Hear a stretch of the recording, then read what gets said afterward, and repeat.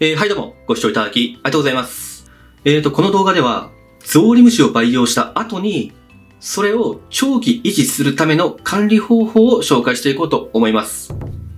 ゾウリムシといえば、メダカのハリコに与える餌として有名で、自宅でも簡単に培養して増やしまくることができます。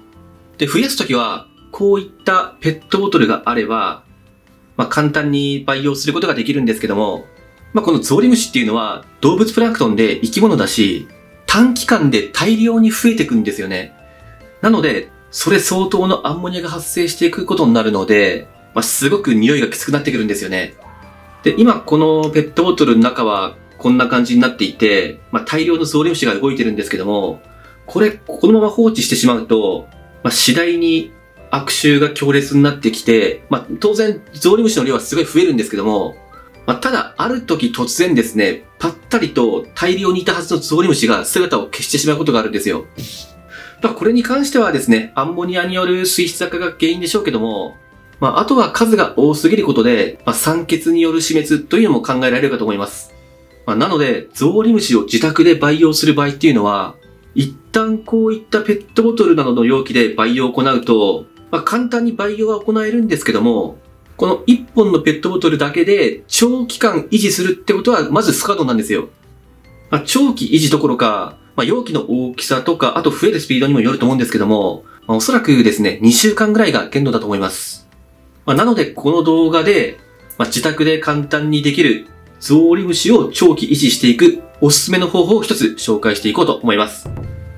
で、必要なものっていうのは、この今、ゾウリムシを培養している容器とは別で、もう一本ですね、あの、ペットボトルがあれば十分です。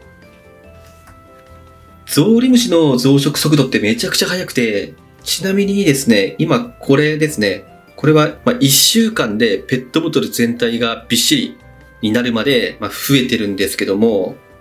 まあ、先ほども言いましたけども、これ時間が経てば、ある時ですね、死滅してパッタリと姿を消してしまうんですよね。まあ、なので、その前に、まあ、新しいペットボトルの方で培養し直して、まあ、交互で繋いでいくといった感じになります。まあ、具体的な方法としては、まずですね、1本目で培養開始します。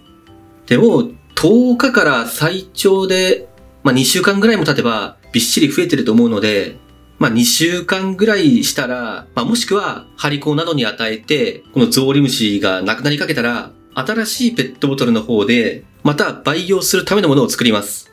まあ、ペットボトルの中にカルキの抜いた水を入れて、まあ、餌となる、まあ、エビオスだったり抹茶の粉末などを入れて、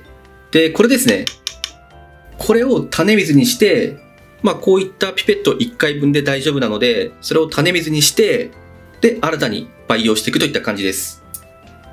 で、新しいペットボトルでゾウリムシの培養を始めたら、最初に作ったペットボトルをそのままにしておくと、まあ、匂いがやばいことになってくるので、まあ、新しいものを立ち上げた時点で、こっちの古いのは、もう綺麗に洗っておいて、で、空にしておきます。で、こっちが2週間ぐらい経ってきたら、またこっちのペットボトルで培養してを繰り返して行えば、そうすることで、まあ、自宅でも簡単にゾウリムシを長期維持することが可能になります。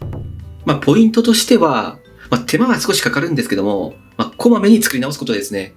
そうすればペットボトルもあまり汚れないし、何よりも早い段階で作り直すことで、匂いもあまりきつくないので、まあ、自宅でも気軽に作れるかと思います。まあ、増殖具合にもよるんですけども、僕はですね、7日から10日前後で作り直すようにしてます。で、あと頻繁に作り直す場合っていうのは、まあ、ゾウリムシを増殖させるために使う餌っていうのはコスパがいいものを使った方が絶対にいいので、まあ、これに関してはですね、今映ってるこの抹茶の粉末がマジでおすすめです。で、詳しくは過去の動画で紹介していますので、もしご興味があればぜひそちらもチェックしてもらえばと思います。はい、そんな感じで、ゾウリムシを自宅で長期維持する際のご参考にしていただければと思います。えーと、それでは今回の動画は以上となります。えー、最後までご視聴いただき、ありがとうございました。